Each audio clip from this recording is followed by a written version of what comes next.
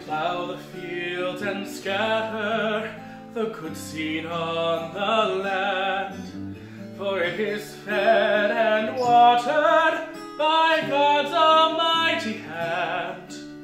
He sends the snow in winter, the warmth to swell the grain, the breezes and the sunshine, and soft refreshing rain.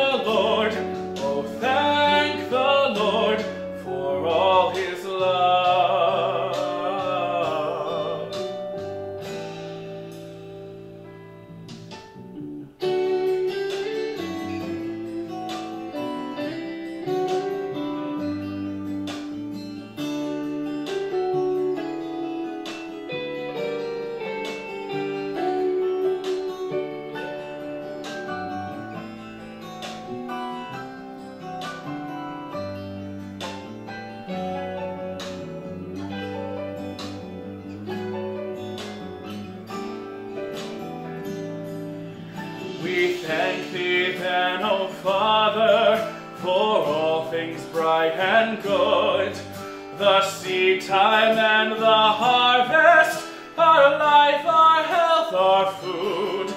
No gifts have we to offer, for all thy love imparts, but that which thou desirest, our humble, thankful hearts.